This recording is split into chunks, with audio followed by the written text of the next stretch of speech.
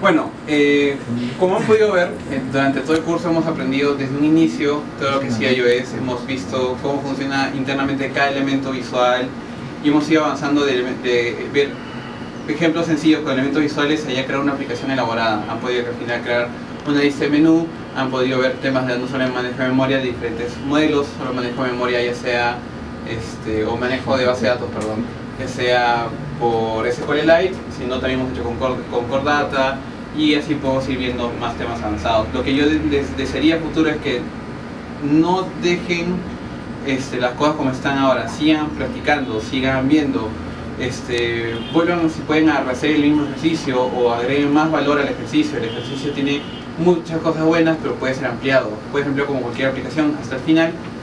Puede ser una aplicación que ustedes puedan vender en el mismo market de Play Store o de Apple Store.